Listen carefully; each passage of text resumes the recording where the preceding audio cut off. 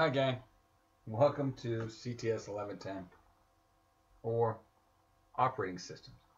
Now in this class we'll deal with Windows 10, how to configure and manage a Windows 10 client system.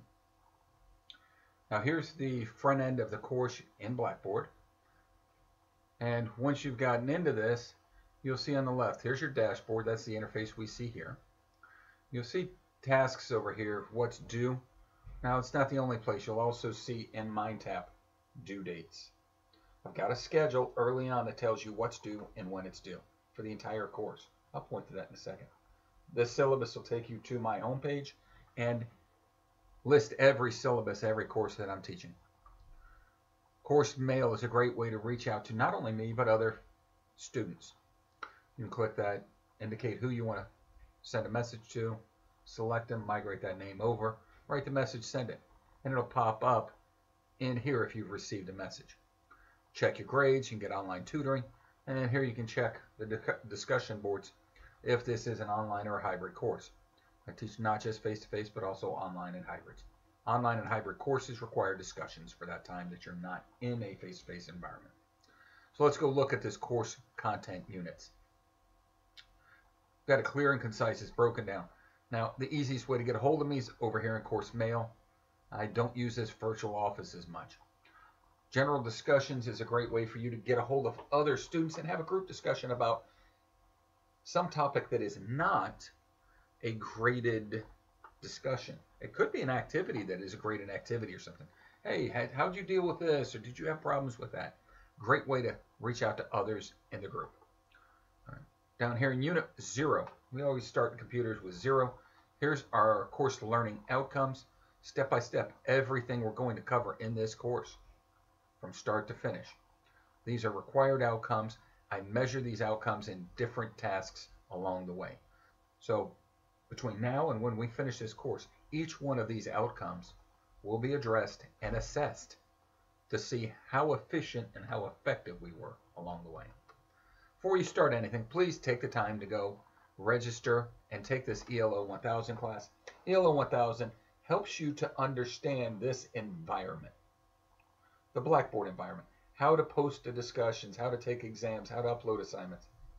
It's a must do. You have to go do this, and it's not just for online or hybrid. If you're inter interfacing with a system, you need to know how it works. This is how you find out how Blackboard works. So here's where you go register your MindTap. And before you begin, go check your requirements. Make sure it does what it's supposed to do. Before you start MindTap, go find out about MindTap itself. You need, you really need to watch this live virtual machine lab user guide. Read through it to know how these things work. Now, this course is aligned with the Microsoft certification exam, configuring Windows devices, it's a 70-697 exam. Um, got resources that I got for you that's an MTA. You need to take this pre-course assessment. It says that it's graded in MindTap, but that's just because I'm capturing the grade. The, the grade is not migrated over to Blackboard, and you're not being held accountable for this assessment at the start of the course. It's just a benchmark to find out where you are at the beginning. You'll take another one at the end to find out what, what changed, so we can find out how effective we were along the way. Now, how am I being evaluated? This will let you know exactly what I expect, how I'm looking at things. Um, the syllabus shows how things are weighted, but this shows how I come up with the scores that go into those weights. Support a very important read. Here's your schedule of due dates. Open this up. Go look at when and what items are due every task that you have to do that has some grade associated with it is in this schedule of due dates. Okay. Now, one of the things that I have an expectation for this course, if it is an online course, this only applies to online, you have to remain active in this course. If you are not active for a period of two weeks, I will reach out to you. So what do we have going on here? You need to communicate with me if you're not going to be around. I get it if you got you're planning your own time, you're going on vacation or something. Let me know what's going on and that you haven't just gone ghost on me. So if you're not active for two weeks, I will reach out and say, what do we got going on here? If you don't respond to me, you don't become active again, I'll have to withdraw you from the course. Okay? It just is what it is. If you're not progressing and not doing work, even though you're checking in, but you're not doing what you need to do, actually doing the work, I'm going to reach out to you.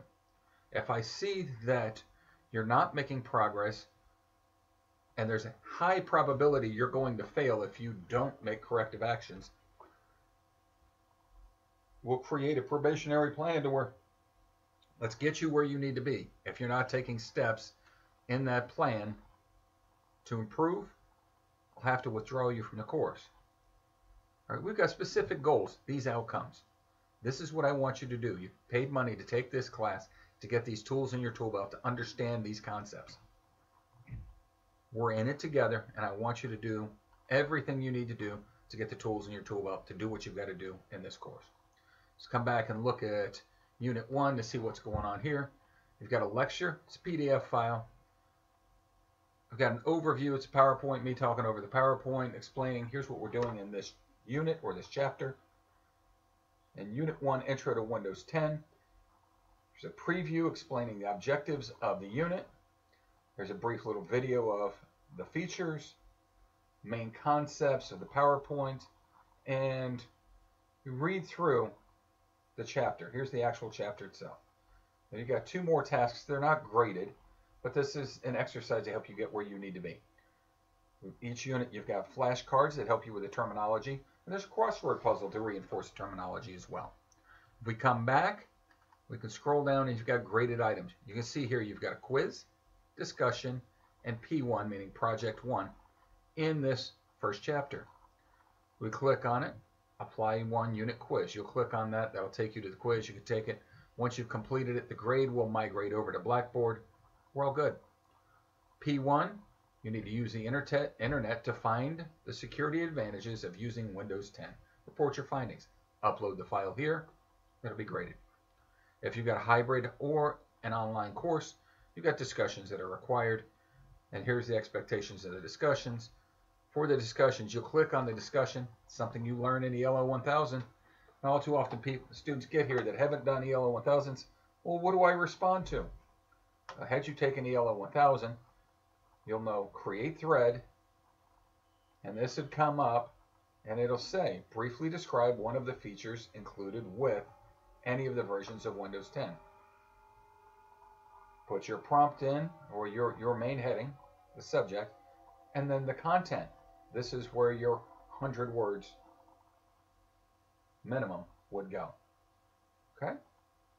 So I try to keep everything straightforward to where it's it's all streamlined, unit by unit. And come on down and we got 15 units in, or 16 units in all when we count unit 0 and Unit 15 is our final exam. We wrap everything up. Right. I'm glad you're in the course. When you've got questions, ask them early, often. Don't be afraid to ask questions. Reach out to me. Reach out to the SLC and get help there. I've got a number of resources to help you get where you need to be. Okay? So I'll see you in the course and glad you're